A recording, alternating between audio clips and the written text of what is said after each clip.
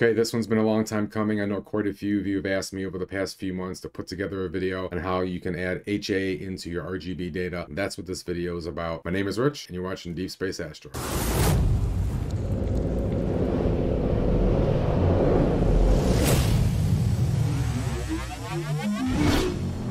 Right, as of time of recording, I'm running the latest version of Siril 1.2.1. Before we get started, I want to talk about our folder structures here. We're going to be creating two stacks, one for the RGB, one for the HA. I have a directory here called Flame, Horsehead, Running Man, Orion, because those are the four objects in the image that we're working with today. Within that folder, I have a folder for narrowband data, which is the session that I shot with my LXtreme filter. And then I have one called RGB, which was shot with no filters at all. So it's straight up RGB data. So we're going to be using scripts provided by Siril today. And as usual, they require all of your calibration frames. So in my narrowband, I have biases, darks, flats, and lights. And just so you guys know, my lights for narrowband that I shot with the LXtreme, I ended up with 29 of them at 300 seconds a piece. And then RGB, same thing biases, darks, flats, and lights. And I have 97 images at 120 seconds a piece. So before we jump over into Siril, I'm going to create an additional directory here just to keep things clean just going to call it prep. You can call it whatever you want. And then we're going to jump over to Siril. We're going to set our working directory first to our RGB data. Click open. And we're simply just going to come in and run the OSC pre-processing script against that RGB data. Let that run. It'll take a few minutes and then we'll move on. Okay, our stack is complete. You can see over in the console, that one took 4 minutes, 25 seconds. So we'll just jump back over into the working directory real quick just to show you. So we were working in RGB and there is our RGB stack right there. Our next step is we want to stack the HA data that we acquired with the LXtreme filter. So we're going to change our working directory in Siril. We're currently in the RGB working directory, and we're just going to move over to my narrowband folder. Click open, come up to scripts. This time, instead of running the OSC pre-processing script, we're going to use one of the included scripts with Siril called OSC extract HA. This will stack and register just like the OSC pre-processing does, but it will leave you with a single monochrome image of the HA data that it extracted from your session. So simply just run that script and wait for it to finish. Okay, so now our HA stack is complete. Again, if we jump over into our current working directory, which this one is the narrowband, there is our single HA stacked and registered result file. So back in the Siril, and now we're going to change our working directory once more, but this time we're going to set it to the prep directory that we created at the beginning. That way, our next few steps that we do, all the files that are created will be created in that prep directory. It's just a way to keep things organized for myself so I don't have to hunt around in the process directory for everything. So prep directory set as our working directory, and we want to split the RGB image into three separate channels. So we're going to click the open button. We're going to browse over to our RGB working directory, and we're going to select our result file. This is our RGB image in linear. If you want, you don't need to. It's not a requirement. I'm just showing you. Click auto stretch so you can see uh, a good visualization of, of what the final image could look like. So now we're going to come up to image processing, extraction, and split channels. In the red, I'm to hit R, in the green, G, in the blue, B. And you want to stick to these naming conventions because there's another script we're going to be running here in a minute that requires the files to be named R, G, and B. So make sure that you stick to this naming convention when you do your extraction. Click apply, watch over in the console, it should finish up pretty quickly. And once it's done, click close. So now if we jump over into our prep directory, there's our three channel files. Before moving to the next step, we need one more file, which is our HA stack. So we're going to go over to the narrowband folder and select my HA file. And we're going to cut that from this location, go back into prep, and we're going to paste it there. So now we have all four of our files. Now to register and align all four of these files together, we're going to use yet another script that comes with Siril up in the scripts menu called RGB composition. Now, I want to pause here and talk about this for a second. First of all, the RGB composition script is the script I was referring to when we did the extraction and I said that you need to have an RG and B file in your working directory for that script to work. What's going to happen is, is it's going to look for those three files and then it'll register and align those files together and give us an RGB.fit file. We don't need that file. We'll, we will be deleting that. You'll see that here in a few minutes. But the other thing the script does is if you add additional files into the working directory, once it finds the RGB, It'll also include anything else that's in that directory as part of the registration process. So in our case, we have our HA data sitting there too. So all four of these will be registered and aligned together. Now, what I want to talk about is, again, I'm jumping ahead, but I'm, I just want to be clear as to why I'm taking this approach. If we come up to image processing, and go into RGB compositing, this is the tool we'll be using to, to build our final image with. And it also has an alignment method that you can use on it, but it will not align your images if you have any rotation at all between the files. So in my case, my RGB data compared to my HA data, there is rotation. So even though it doesn't throw an error and it says it's complete, you end up with shadowing, right? So for example, if I look at the horse head, once I pushed it through using the alignment function of this tool, there's a little bit of a shadow of a horse head right above it. So it doesn't support images that have been rotated even slightly, but I've been told by the developers newer versions of it, future versions of it will support that. So for now, you can try to do the alignment this way, but I'm going to say it's probably just the best bet just always use the script. That way, whether there's rotation or not, it'll do the registration and the alignment for you. So hope that makes sense. But to get back to where we're at, our working directory, our, our prep directory, which is our working directory, has our RGB and our HA data in there. So all we need to do now is come up to scripts and hit RGB composition. And if you watch it over in the console, you'll see it's doing pretty much the same thing that it was doing with the OSC pre-processing script with registration and all that stuff. So it's pretty quick, only four files on my machine, five seconds. So again, just to keep you guys on track and show you what's going on in the background, back into our prep directory, there's our RGB file that that script just created that we don't need. There's our HA file that we brought in to be included in the registration Neither of these two files are needed at this point, so just to keep things clean, I'm going to delete them. It also created a process folder. If you open that up, you'll see our symbolic links, shortcuts effectively in Windows to our original files. And then down here on the bottom, these four files that are prefixed with the R. These are our registered files. So these are the four we're going to be working with. Now, the first question you may have is, well, how do I know which one is R, G, B, or HA? And you can figure that out by opening up your colors conversion text. When you open this up, you can see the blue file was created and appended with a number, which is one. So this, this is our mapping. This is what we're going to use to reference in as we build our composition. So we know the blue is one, the green is two, the R is three, and the HA is four. So now we are going to jump over to image processing back into the RGB compositing tool that we were talking about previously. And we're going to load up our layers here to build our image. So we're going to start with red. Just click on the box where it says none. Go into your process directory. Bring up your little mapping file. Locate red. And red is file number three. So we're going to come down to the registered files. And we're going to select file number three for the red channel. Same thing for green hit the process, use your conversion file to see where the green is at, and it's number two. And then the same thing for the blue. Again, process directory, look at the blue, and it's number one. So open up registered file number one. So at this point, we're back to what looks to be the same image that we just split out and recombined. But the difference is because we ran this script up here, we're all registered and aligned, right? So that's the reasoning for that.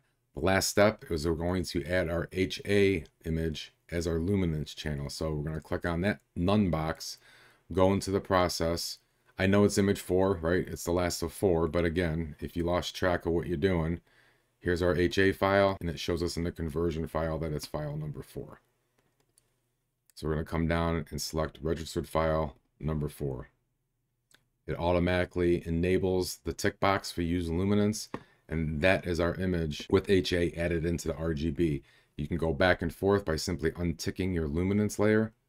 So that would be our before, and that would be our after. So Go ahead and click close to close the image compositing tool. And we're going to save this as a 32-bit fit. And the name doesn't matter. You can call it what you want. Since I have four major um, objects in this image, I'm just going to go Flame, Horsehead, Running Man, and Orion. Click Save. Make sure you're going to 32-bit floating point. Because we are in auto stretch, you will get this message that the view is not in linear. It's just telling you that, hey, what you're seeing on your screen if you're expecting it to look like this in the file that you're saving, you're wrong. So, but we know that we're working in linear. Just click save anyway. If you were to do the save while you're in linear mode, that message wouldn't even pop up. So just be aware of that. Now, at this point, if you need to or you want to, this is where you would do your cropping. So we can come up just for stacking artifacts. I don't have too much of a problem with this image. This one's stacked nice and clean for me, but just to go through the process, draw your selection where you want to crop, right click and hit crop. Again, hit save. From here on out, this is just normal processing, right? Again, if you've been using Siril for a while, you know how to do all this, but I'm gonna go through it. We're gonna start with background extraction. Now, you can use background extraction that's built into Siril. Nothing wrong with it, but ever since Graxpert has come out with their AI interpolation method, I've been using that to do my background extraction because it's simple, it's brainless, it just, and it works great. But if you wanna do it yourself, you can. But again, I'm gonna do the background extraction in Graxpert. So we'll get Graxpert loaded up here. And the latest version of Graxpert, again, with the built-in AI, they color-coded the buttons. So it's really just three clicks. So we're going to hit load image up here.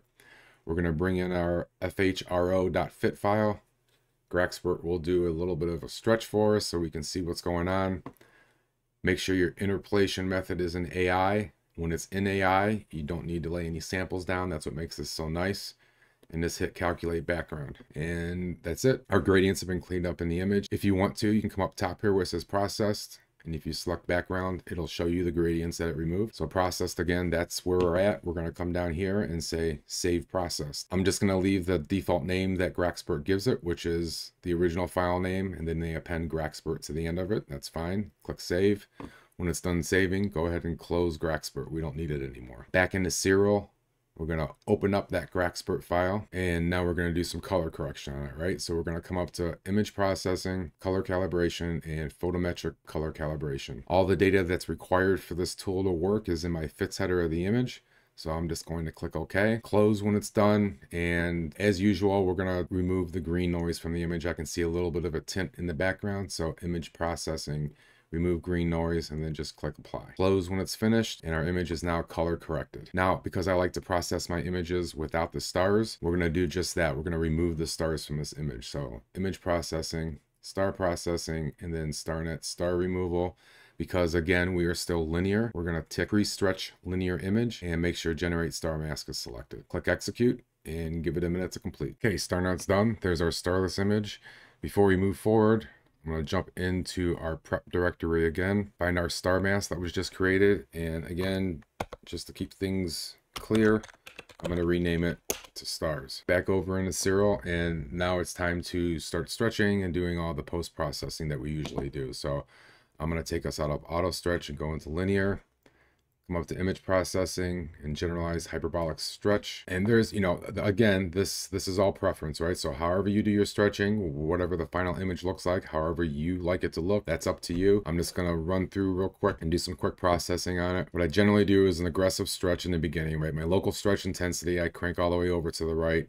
And then I start stretching. I bring it over pretty far just to see the data that's in there so I can see all the HA structure that I'm looking to pull out of the image and I'll start backing it down. And what I'm looking for is the point where the stretch isn't showing me, showing me any more data and all that it's doing is brightening the background. And I, I don't want to brighten the background any more than I have to just to pull the data out. So get it to where I like it, hit apply. And then my symmetry point, you can either click on the graph. What I generally do is just draw a little selection over certain areas of the image and then hit the eyedropper to set my symmetry point local stretch intensity at this point. I go about two thirds of the way over and again, start stretching just a little bit at a time. Now, during this whole process, this is the area that I'm that I'm interested in, right? The horse head and the flame, all this HA that's around the horse head. As we're making these adjustments, I'm going to be blowing out the core of Orion, but that's okay. We can tamper that down a little bit in Photoshop so it's not as bright. But again, just little steps to bring everything up. I still have my selection set, so I'm going to use that same symmetry point. This time I'm going to leave my local stretch intensity about a third of the way over and just do a little bit more stretching again just to try to bring the brightness up and the contrast and things. You can also play with the local stretch intensity. Again, this is kind of like a contrast. You go too far, it's really going to make things a mess. Again, it's all preference stuff, so just play with it, get it to where you like it. Hit apply when you're happy. I'm going to draw a selection over here now in a little bit darker area and set that as my symmetry point. Again, leaving local stretch at about a third of the way over. Just bring this up a little bit. And as we're doing this, you can see our histogram is moving away from the left side of the graph. And we'll take care of that in a minute here. Without any symmetry point set, We'll give it a little bit of a stretch just where it sits. Again, I'm just looking at all my structures, trying not to brighten the background too much. Click apply. Think that looks good for the purpose of the video. Again, tighten up this left side of our histogram. I'm going to change our type of stretch to linear stretch. This is our black point. Zoom in just a little bit using the plus button so I can see my data. And I'm just going to move this slider until the histogram gets closer to the edge. If you watch the image, you'll see how it'll start darkening things out without actually taking away any of the data. We're not clipping any of the data. Click apply. And then usually I go back into the hyperbolic stretch. And again, without setting a symmetry point, just give it a little bit of a bump.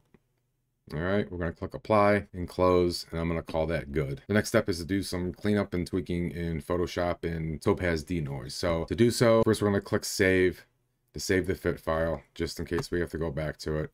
Then we're going to click the Save Current Image button, and I'm going to change this to TIFF, or you can just change the file extension to TIFF. It'll recognize that you want a TIFF file if you do that as well. I'm going to leave the name as it is because it's going to be the only TIFF file I have. Click Save. We're going to go to 16-bit because Camera Raw, which is one of the functions in Photoshop I'm going to be using, requires it to be 16-bit and then click save. Come back into our prep directory, look for our TIFF file, and we're just gonna open that up in Photoshop. First thing I like to do is to check my levels. And I do that by coming up to image, adjustments, and then levels. Now you can make your adjustment here on the left-hand side while you're in the RGB state, but I generally check each one of the channels.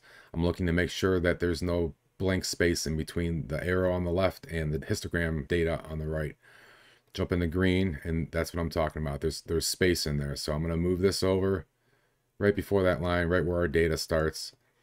And then we'll check the blue, same thing with the blue. Dial that in to close up those gaps. Click OK, and our channels are pretty much leveled out now. Now we're going to come up into filter and camera raw filter. And I start first over here under the light section. This will do two things for us. I like to play with the contrast first, and usually it's just a little, right? I mean, go go extreme one way or the other get a feel for how the, the actual tool is working, but give it a little bit of contrast. And then the rest of these settings will help us tame down the core of the Orion and make get that looking a little bit better. But we got to keep an eye over on this side of the image where the horse head is as well, because these settings affect the entire image. But you can find a nice little balance. Um, so with the highlights, if I start pulling the highlights down, you can see the core of the Orion Nebula is starting to dim down. It's still blown out a little bit in the center, but it's a lot more pleasing to the eye, I think, when it's dialed down like that. But we also dimmed the whole image, so it's not as bright over here. But just going back and forth with some of these sliders and seeing what they do for your image, you see I lift the shadows up and it's bringing a little bit of brightness into here, kind of like a contrast against them. And then again with the whites, we can do the same thing. What I like about the whites is if you watch around the horse head here, right on this ridge behind it.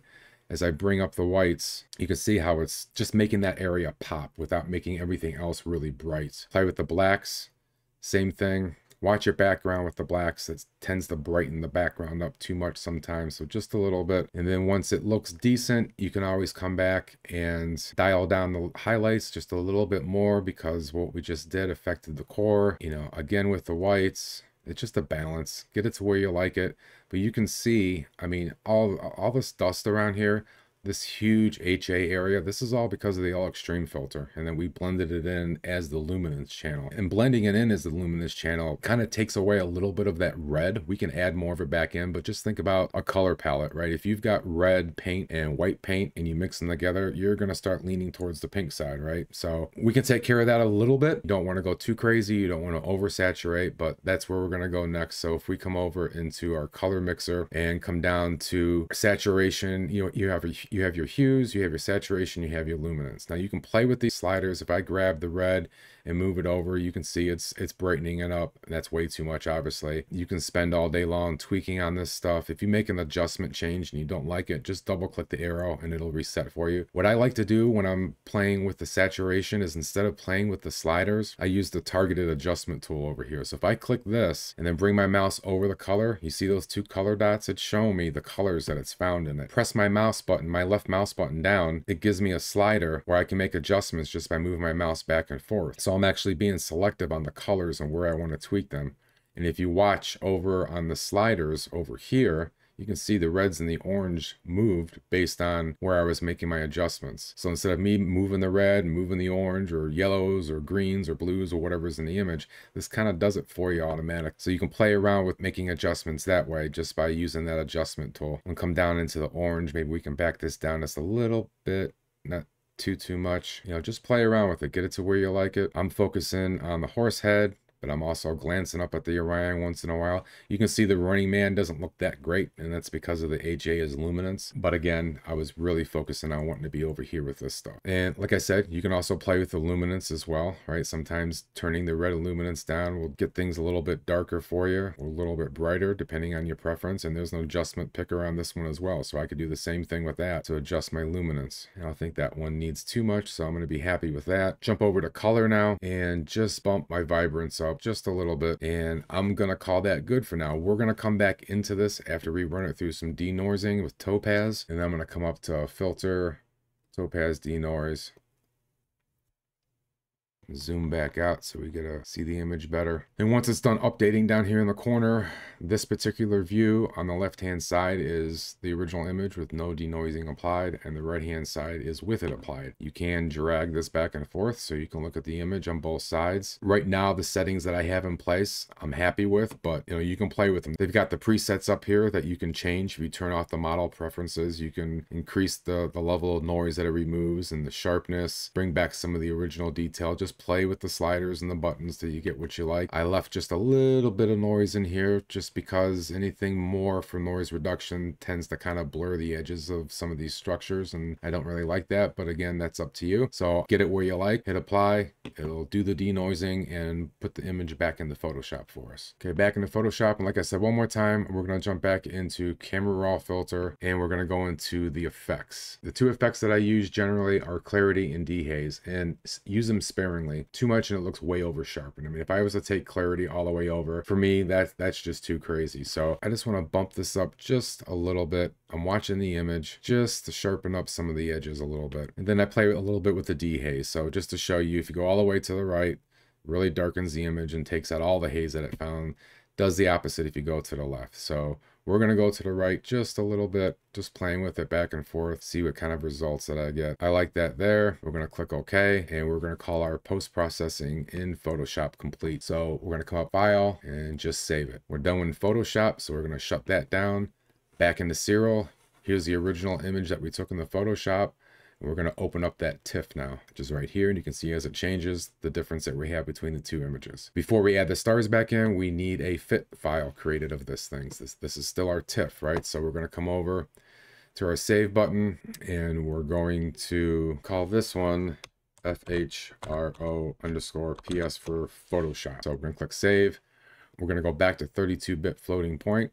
Click save. Now we're ready to add the stars. Image processing, star processing and star recomposition. On the left hand side, we are going to add in our fit file that we just saved. And on the right hand side, we're going to add in our stars. Now, when I bring the stars back in, first thing I do is jump into the advanced mode. I change my color stretch model to either human weighted or even weighted. Either one generally works. You'll have a better chance of keeping the colors of your stars if you're an even weighted or human weighted. Independent channels tend to wash out the colors, end up with white stars or very muted colors.